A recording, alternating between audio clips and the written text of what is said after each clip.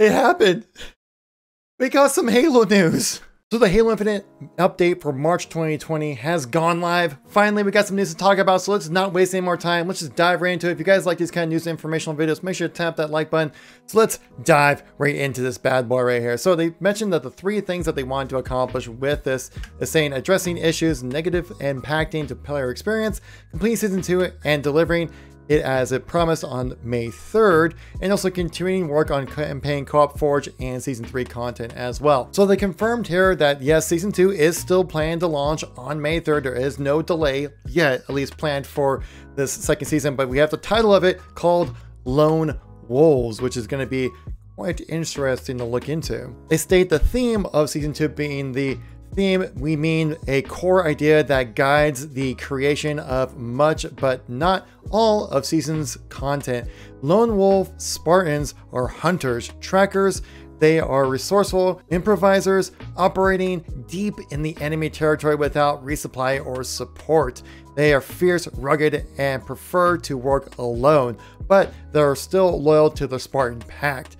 Here's a quick sneak peek of Halo Infinite's Lone Wolves, and yeah, this content right here, like this, yeah, give me some of this. This looks great. Like I love this armor set right here. This, even though is concept art, right?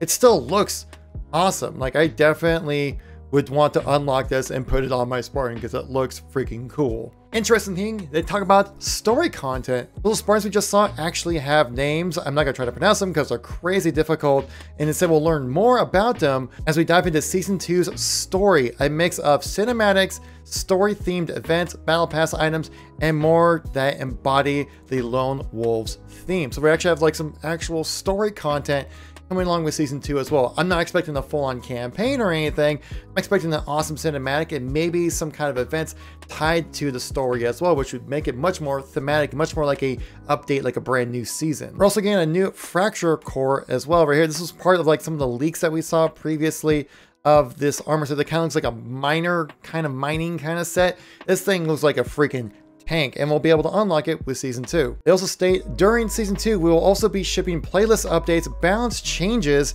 new modes, and maps, specifically one arena map called Catalyst and one BTB map named Breaker. The new modes include Last Spartan Standing, a free-for-all elimination mode, as well as another mode called Land Grab, plus the return and updated all-time favorite of King of the Hill, which an updated version of King of the Hill. It'd be interesting to see what they change about it. There's some concept art of the map Breaker, which does look pretty sweet, very familiar to like say what Deadlock or something like that, but maybe a different kind of theme to it. Definitely interested in seeing how this map plays out. Here's some more concept art of the map Catalyst. Now they said this is a paint over, so most likely they have a gray box at some capacity and they kind of paint over it. This art style is exactly what we need, like some variation, bring in some of that more sci-fi element, because right now the default map pool that we have, well, still good. It just looks very UNSC human focused. We need this more sci-fi elements to this sci-fi shooter and this map looks to do just that. They also state right here, we will have a lot more to share about the Season 2 maps, modes, customization options, and narrative concept in April. So that's pretty much what the next time we're going to get any kind of true Halo news is going to be next month, which we certainly will cover on the channel as well. Next is a little bit of a heartbreaking news, but things are still kind of on track, but it seems like there's going to be a little bit of a delay here. As it says right here, that all this means that we will not be able to ship Campaign Network Co-op on May 3rd at the start of Season 2, but there is still an aiming to deliver Campaign Network Co-op later in Season 2, and we will share the release date for that and for split screen co-op as soon as we can. So yeah, we have to wait a little bit longer on co-op, but we're you know, just a few months away. That's quite heartbreaking. They also mentioned Forge information here as well. Then we are internally flighting Forge to a small group of community creators and working closely with them to ensure that all of the terrific experiences of creating, sharing, browsing, that's a big one right there, and playing Forge content. So are we gonna get a content browser along with Forge, or do they mean like browsing Halo Waypoint, like download the stuff? Well, we just kind of have to wait and see until we get some more information about that. They said they still have the goal of shipping Forge with Season 3, which should be right around like August to September timeframe. But in the meantime, we still have some more information about the Tactical Ops event, which we were leaked that the release date was going to be delayed, and it was, but now we actually have a reveal that it's going to be starting next week with Tactical Slayer variants, as well as some more optimization and customization for your Mark 7 core.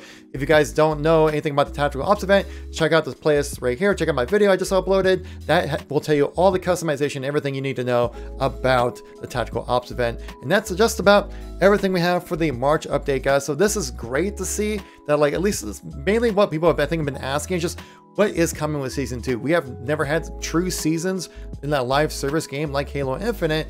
You know, we've had a little bit with MCC, but now we have it with Halo Infinite, and we don't really know what to expect.